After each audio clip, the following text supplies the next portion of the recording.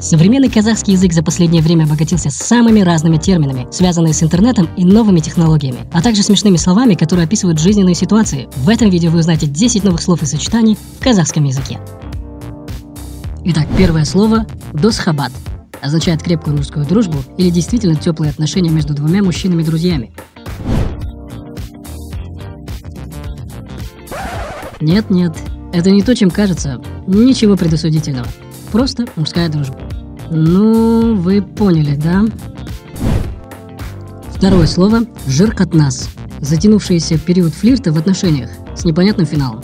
Наверное, каждый в жизни переживал свой жиркотнас.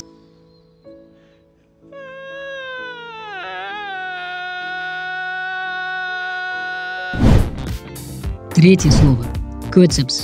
Накачанные бедренные мышцы. Ну, почти то же самое, что и бицепс, трицепс, только коцепс, то есть ягодицы. Четвертое слово – фейсмолда. Человек, который призывает к праведному образу жизни пользователей сети. Тут, конечно, без комментариев, иначе просто заклеймят. И пятое слово – ерюкши. Мужчина, оказывающий интимные услуги женщинам. Блин, я не знаю, почему я выбрал именно эти снимки. Просто мое больное воображение представляет мне их такими. А разве не так выглядит Жигало? Разве нет?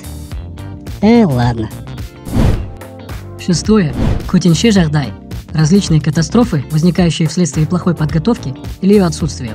У нас в стране в последнее время Котинши Жардаи происходят с завидной регулярностью. Взрывы на оружейных складах, ежегодный разлив рек и весенние паводки, которые затапливают людей и их дома. И это лишь самые резонансные.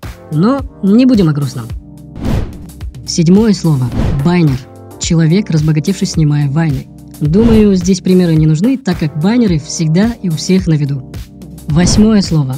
Конакбас. Оборзевший и неунимающийся гость. Окей, мы, конечно, очень гостеприимный народ, но иногда таких гостей необходимо прогонять. Девятое слово. Инвестиция. Неграмотные инвестиции, сделанные в неудачные проекты. Ну, здесь как бы без слов. Уже даже неудобно перечислять все эти эпик фейлы с инвестициями. И, наконец, десятое финальное слово – пайдараз. Человек, заводящий дружбу только по соображениям личной корыстной выгоды. Окей? Получается, некоторые знакомые из тех, кого я знаю, слегка пайдаразы.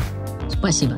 Ну а на этом все. Материалы были использованы из Жана Суздак. Ссылка на их проект я оставил в описании. Там еще много интересных слов. Конечно же, эти слова не претендуют ни на какую интеллектуальность, и применение этих слов весьма сомнительная затея. Но это не отменяет их прикольность. Да ладно, всем похуй, ты чё? А какие новые казахские слова и сочетания знаете вы? Делитесь ими, пожалуйста, в комментах. До новых встреч!